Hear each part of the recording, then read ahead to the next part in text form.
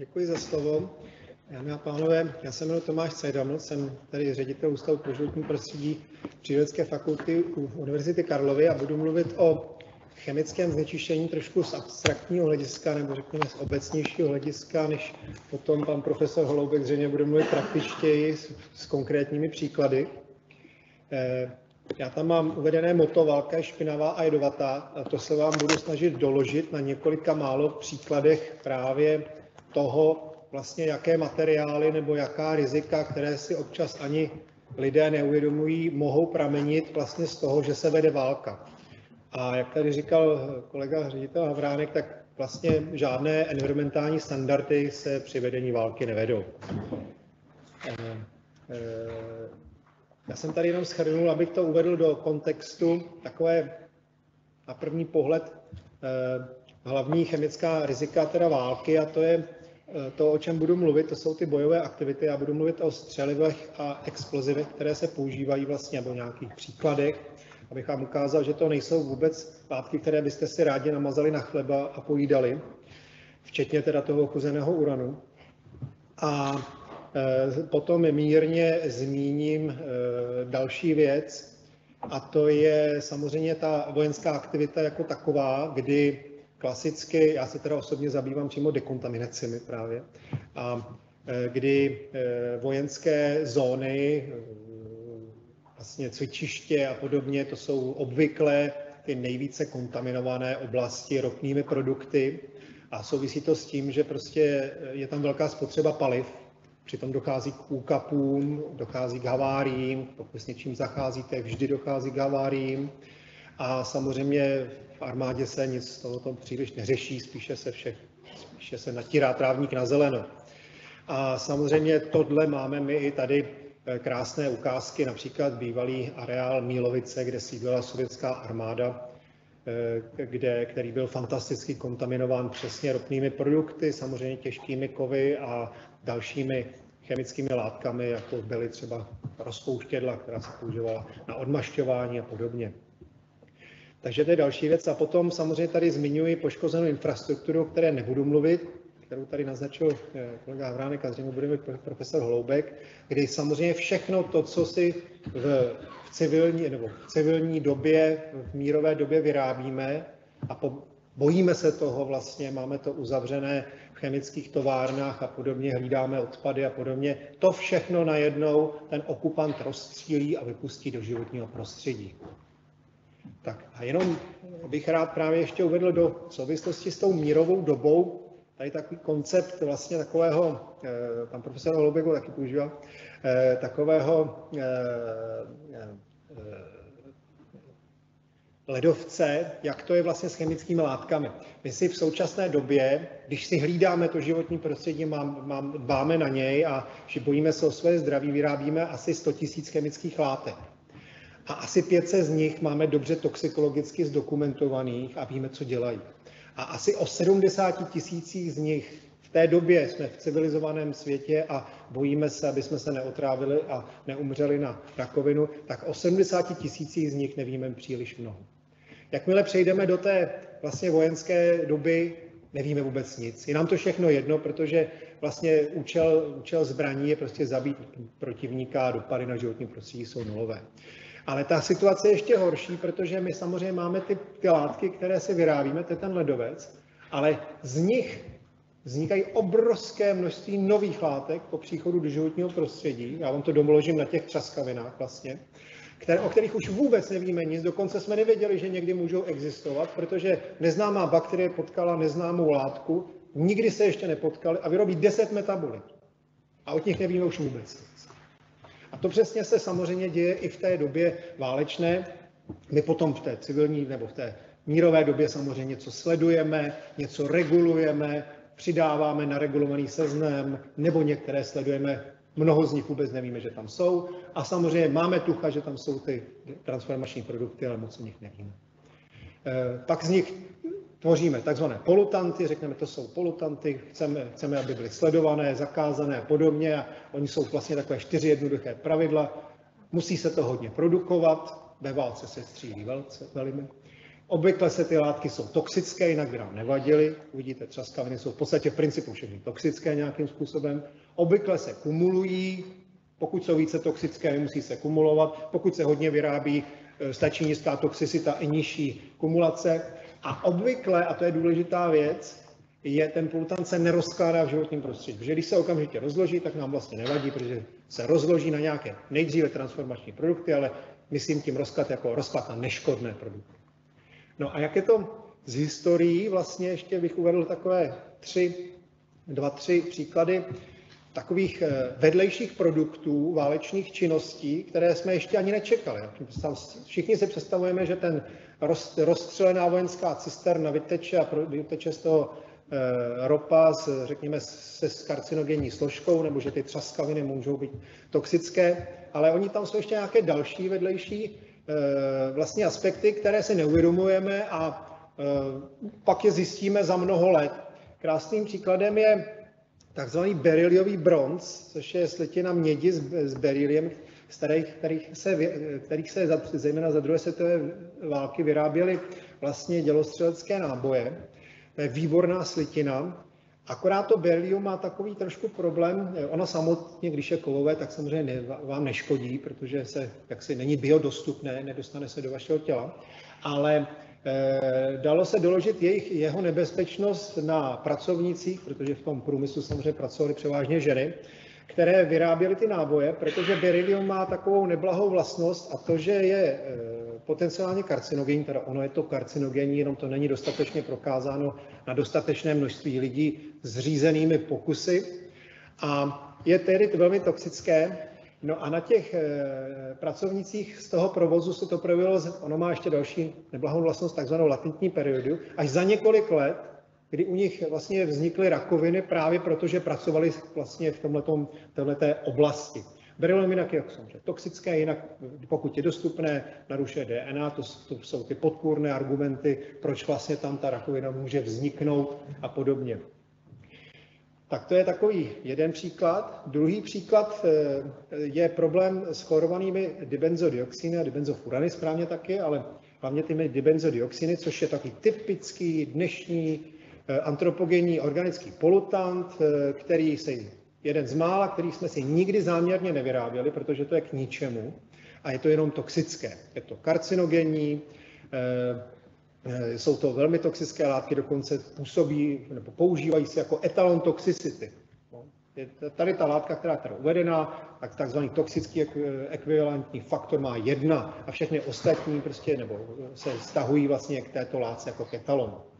Ale co čert nechtěl, tyhle látky vznikají při, nejenom když spalujeme odpad v kamnech, zejména plasty, a, ale také vznikají při e, syntézách chlorovaných látek, a protože 20.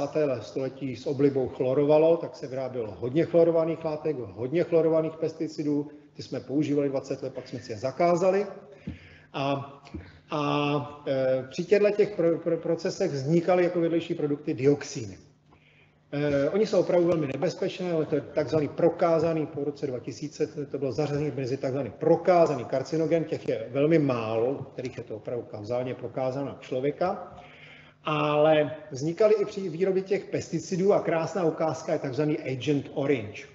To byla směs eh, herbicidů, eh, který se jmenuje 2,4 difenoxyoctová kyselina, 2,3,4 trifenoxyoctová kyselina, kterou používá americká armáda ve, válce eh, ve Větnamu.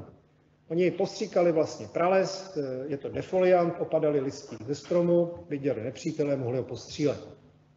Zajímavý tady je, že ten 234T, 234T se vyráběl i ve Spolaně Neratovice, která podle některých zdrojů přes Holanděna nebo Němce to prodávala z nepřátelené imperialistické americké armádě, aby to stříkala na naše přátelené soudruhy ve Větnamu. A samozřejmě se tvrdí, že zahraniční socialistický obchod o tom to netušil, já o tom pochybuju, to je asi tak jako s tou ruskou propagandou. Takže, ale co z toho plyne, že Větnam do dneška je jedno z nejrozsáhlejších kontaminovaných území dioxíny, protože oni jsou velmi persistentní, oni tam stále se trvávají a v dalších generacích se zvyšuje významně, to tyto obrázky s tím souvisí, uh, incidence malformace nově narozených dětí.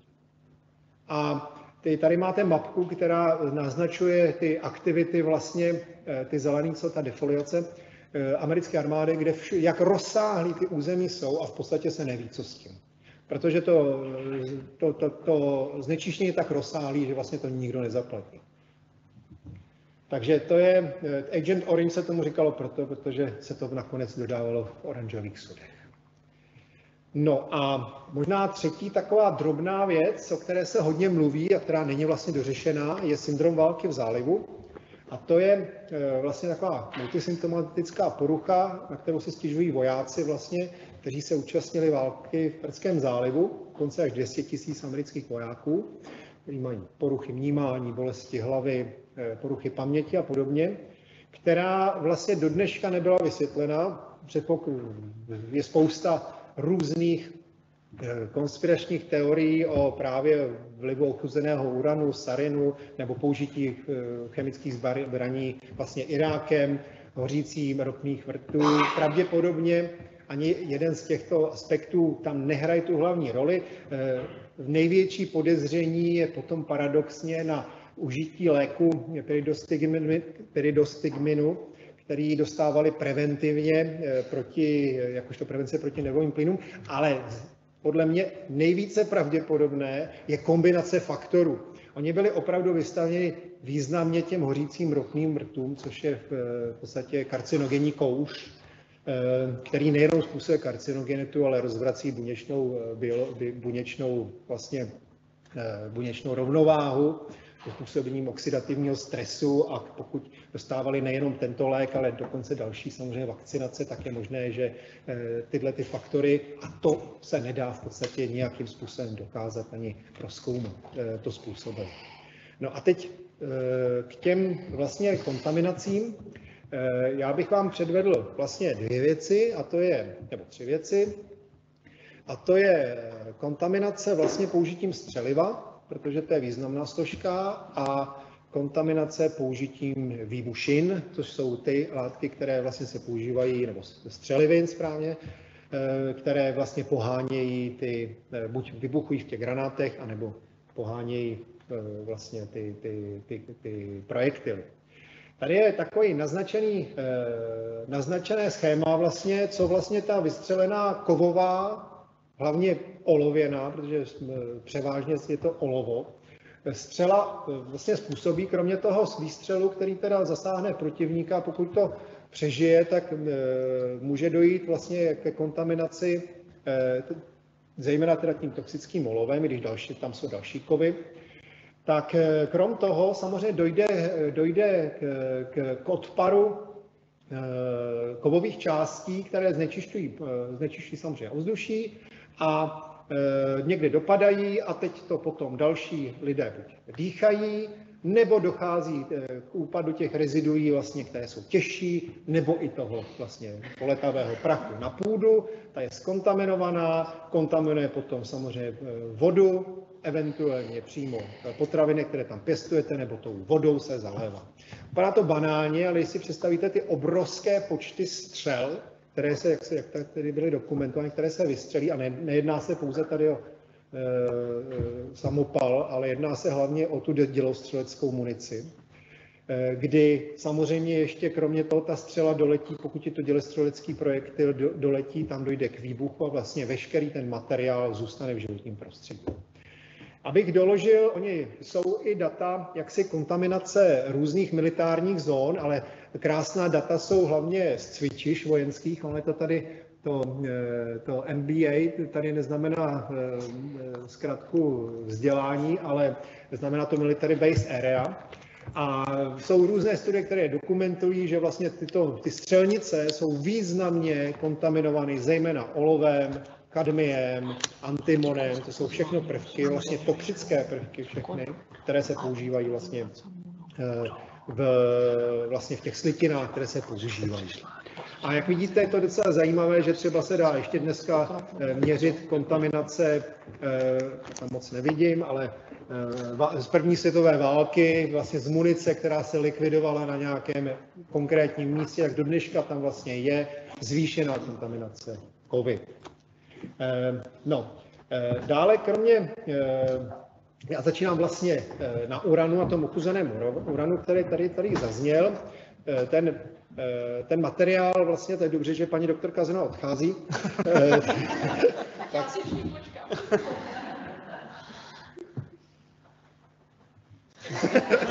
tak on je ochuzený právě o tu radioaktivní složku, kdy ten eh, izotop 235 se využívá vlastně eh, při, pro, pro jaderné palivo nebo pro jaderné bomby. A vlastně ten zbytek je vlastně odpad, který, se, který má ale výborné vlastnosti. On má totiž to je kov, který má obrovskou hustotu a proto se právě používá na, jako dostřeliva.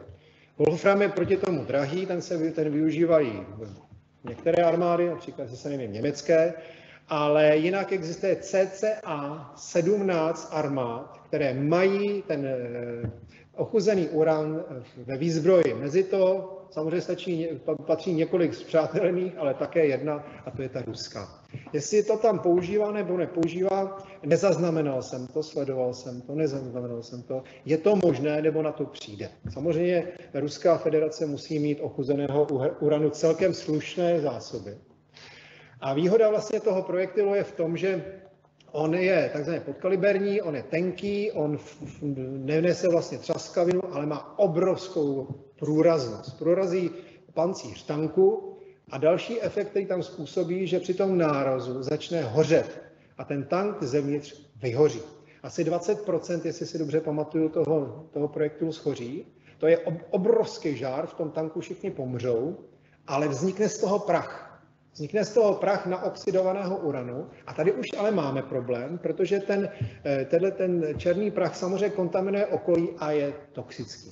Je to toxický kov a eh, jeho formy jsou i biodostupné a funguje podobně, jako funguje třeba eh, olovo, jako funguje kadmium a podobně. Takže to, tady ta vlastně nebezpečnost spočívá. Eh, je málo radioaktivní, to je pravda, je téměř neradioaktivní, je to velice slabý alfa zářič, ale eh, začíná to být problém, pokud ho dostanete do sebe. Pokud vidíte někde tyč uranu, tak je naprosto neškodná. Ale pokud vdechnete eh, prach alfa zářiče, tak on svítí přímo ve vás a svítí přímo na buňku, které už může poškodit. A tam už jako problém nastává. I když, ačkoliv teda VHO, Světová zdravotnická organizace, předpokládá, že to je málo nebezpečné, tak přece jenom jako v těch militárních zónách, jako třeba v Srbsku, eh, reportují asi dvakrát nebo třikrát zvýšenou incidenci rakoviny tam, kde zrovna ve válce v Kosovu použila americká armáda ochuzený uran. Eh, olovo je úplně klasické, to všichni asi tušíme. Olovo je toxický kov, je to hlavní komponent vlastně eh, střel, je to kumulativní kov, eh, hromadí se v kostech, eh, likviduje hlavně ledviny, taky játra, způsobuje anémii, poškození krve a tak podobně. Co je ale zajímavé, že prostě v těch zónách se trvává strašně dlouho. Prvky totiž jako prvkové znečištění je trochu jiné než to organické. To organické přeci jenom, jak tady i taky dneska zaznělo, příroda si umí poradit. I když to trvá desetiletí, tak eh, jak si s toxickými prvky, které jsme vytěžili z, z hlubin planety Země a rozstříkali jsme si je na e, obilné pole v Ukrajině, Ukrajině tak e, tam dokáží persistovat prostě léta tak, jak vlastně to ukazují ty studie třeba kontaminace z první světové války. To je taky povrchová vlastně vrstva, nebo ty, oni se taky trochu šíří samozřejmě, ale jsou to vlastně také povrchové vrstvy e, e, krajiny. Takže tolik olovo. A já, protože čas nás trochu tlačí, tak ještě rychle ty, ty vlastně ty exploziva. E, nejklasičtější explozion TNT, které se dodnes ještě používá, používá se už teda více než 100 let. E, nevím, nevím rozsahy, nevím rozsahy, jestli se používá, spíše zřejmě upozaděno trošku. Tak ale patřím do skupiny možných karcinogenů, to znamená, to je vlastně to, e, kde se jsou náznaky karcinogenity, jenom není dostatek studií, aby se to posunulo do vyšších hladin, tak TNT je v podstatě v principu nebezpečné. Tady zase máme ukázku eh, nějakých kontaminací z, ze střelnic. Jak vidíte, jsou tady koncentrace zhrub, eh, v, v miligramech na kilogram. Obvykle u takových problematických látek Oni na to nejsou příliš normy teda, ale po světě, ale u takových problematických látek předpokládejte, že třeba desítky až stovky ppm, tedy těch miligramů na kilogram, by mohly být i problematické. Jak vidíte, tady nějaká, nějaká střelnice v Kanadě měla 500 tisíc. Takže Eh, je to problematické, ta látka přechází i do rostlin, samozřejmě kontaminuje potraviny, kontaminuje eh, ty, ty plodiny, které se tam eh, pěstují a umí v té přírodě právě díky tomu, umí persistovat. Ona je v principu totiž, má takovouhle strukturu, má tam takové dva motivy, které pro mě jsou zajímavé, a to je to, že má to benzenové jádro, to je tady ten, tady ten šestiúhelník, který je vlastně v principu stabilní, a že má ty tři takzvané nitroskupiny, které vlastně tomu rozkladu, ty, které hrají roli v té toxicitě jednak, ale brání částečně tomu rozkladu. Ona, ono se rozkládá, abyste věděli, ono se rozkládá a velmi mnoho se o tom ví. Právě protože se to používá už 120 let, tak jsou dokonale proskoumané rozkladné dráhy, tohle jsou všechno rozkladné dráhy, na co se nám to TNT, které máme tady, mění buď bez přístupu kyslíku, to je jedna část mikroorganismů, že ty nás zejména chrání, anebo s přístupem kyslíku, to je druhá část mikroorganismů. Tady dvě věci. My to všechno dobře víme, ale běží to pomalu. A druhá věc, běží to a máme tady desítky nebo 10, 20 transformačních produktů, o kterých nevíme vůbec nic. Jenom u některých tušíme, že když tam vzniknou amíny, tak ty jsou velmi často také karcinogenní a podobně jak jsou persistentní, už moc nevím, že ty se nesledují. Sleduje se jenom sotva to TNT, ale kdy se jedna skupina zamění za druhou a už tam jsou jenom dvě a jedna jiná, tak to už se moc nesleduje. O tom data vlastně nemáme. E, pak tady mám e, ještě jednu látku a to je vlastně náhrada, nebo ona se používá v kombinaci s TNT a to je hexogen, e, RDX, Používá se také v dělostřeleckých granátech, také patří mezi možné karcinogény, krom, oproti TNT je hůře rozpustný ve vodě, přesto se teda šíří trošku v prostředí. A je také známa jeho biorozložitelnost, ale také víme, že větší množství dokáží kontr, kontr, kontaminovat prostředí, e, že vlastně ta rozložitelnost je, ale je pomalá v podstatě. E, máme docela dost dat, zejména z Eh, z produkce eh, RDX, z těch továren, které samozřejmě mají odpadní vodu, kterou vypouštějí a kontaminují. Dokonce je to jedna, je pouze jedna z těch třaskavin nebo explozi, těch výbušin, právě, eh, kdy americká agentura na ochranu životního prostředí vydala limit na pitnou vodu. Ale není to kvůli teda střílení, je to spíše kvůli tomu, že se tam vyrábí a ty fabriky skontaminovaly to okolí a samozřejmě kontaminované pole, protože z těch řek se to tomto zalévá a kontaminované, kontaminované i e, vlastně potraviny. Takže to je další ukázka. E, ta jeho toxicita je víceméně podobná, ono se to liší na různých organismech, ale Rovněž je to toxické, ovlivňuje to půdní biotu. Půda není jenom samozřejmě ta, ta, ta, ta, ta pevná složka, ale je tam eh, strašně důležitá složka, je ta živá. Ovlivňuje to výskyt nejen mikroorganismů, ale i těch zvířat, které tam žijí, například žížal, pro které je to toxické, a bez kterých ta půda vlastně vůbec nefunguje, což se málo kdo uvědomuje.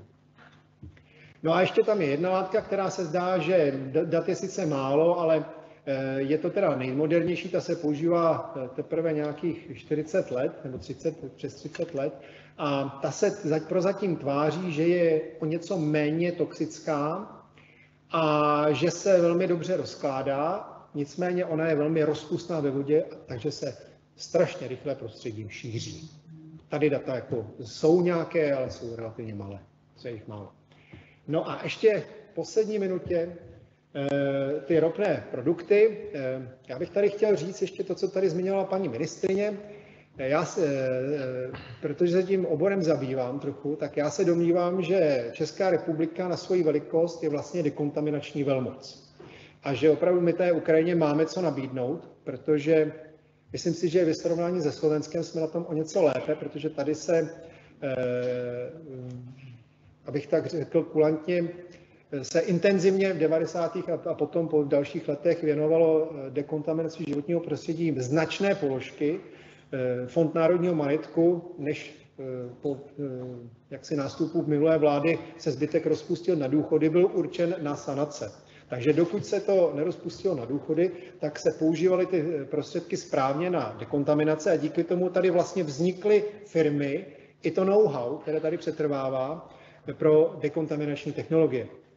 A dekontaminační technologie fungují výborně i na e, ropné látky, které tady demonstruji jednak tím řetězcem, což jsou alifatické látky, vlastně tato, to jsou přesně ty paliva, benzín, nafta, e, oleje, které v sobě ale mají občas záměrně, občas nezáměrně velkou, nebo podstatnou, bych řekl, ne nikoli velkou, ale podstatnou složku tzv. aromatických látek nebo polycyklických aromatických látek, které jsou karcinogenní.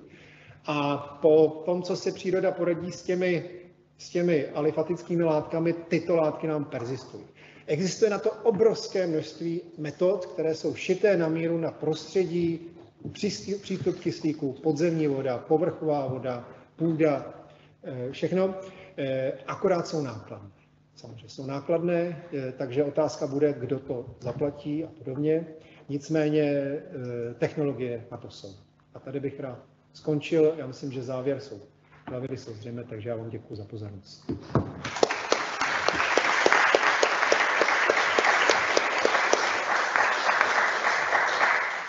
Protože začínáme být trošku v časovém skluzu, tak bych poprosil dvě rychlé otázky pana profesora. Já, jestli se Beryllium používá i dnes, já to nevím.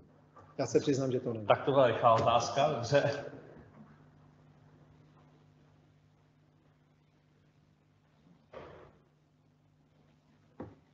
Eh, Spolana Neratovice nedodávala toxickou látku, ale dodávala, eh, mám to ze dvou webových zdrojů, a traduje se to, že prodávala, ona prodávala, vyráběla eh, jeden z těch dvou herbicidů, 2, 3, 4 T, a ten prodávala přes nějakého si eh, obchodníka až do Ameriky. Víc nevím, je to ze dvou zdrojů.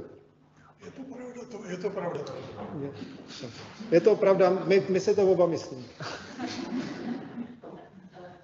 Eh, ano, eh, tendence zakázat olovo v, v munici je, ale pochybuju, že to dojde až do militární munice. Jedná se o civilní munici, broky a podobně, protože i tam se tam dochází jako znač, značnému rozptylu olova, které nemá v tom prostředí co dělat, ačkoliv náhrady jsou, akorát jsou dražší. Super, tak já moc děkuju. Tak jeden dotaz pléna, ale pak už fakt musím dotaz ohledně incidence rakoviny v tom Kosovu. Je to založeno na nějaké epidemiologické studii. Hmm. Eh, ono totiž eh, po válce v Kosovu byla to nevládní organizace. Doktor z Bristolu zkoumala ty následky používání eh, toho ochyceného uranu a tam jako následky nějaké pozorované nebyly. Jo? Takže hmm. Hmm. nevím, jaký je zdroj tady tohle. Tohle je to, ten výzkum dělala nevládní organizace. Ale já jsem taky podotýkal, že VHO vlastně tvrdí, že, vlastně, že je bezpečnější, než se oboc, obecně z tohohle hlediska ten eh, uran soudí. A je, je, je, je rychlý ten dotaz? Tak, tak ještě, ještě, ještě jeden rychlý dotaz. Mě by zajímalo, jestli země postižené válečným konfliktem nebo jak, jakýmkoliv prostě zasažením takové kontaminací mohou deklarovat ekologické, ekologické zemědělství třeba tedy Čína, Čína ne, ale Větnam, eh, teď Ukrajina, jestli tedy to je takhle, ta, údaje je tak zasažená, že... Eh, tak, deklarovat můžou, co chtějí, protože to je daný legislativou. Pokud v legislativě není uvedeno prostě střelivo, takže mohou. A ještě, ale jsou i další příklady, kde samozřejmě to jsou převzaté informace. Eh, například ve Faluji, že se zvýšila incidence rakoviny a je to dáváno do souvislosti, není tam kauzální důkaz, ale máte pravdu. Tak jo, já moc děkuju a poprosil bych Michala.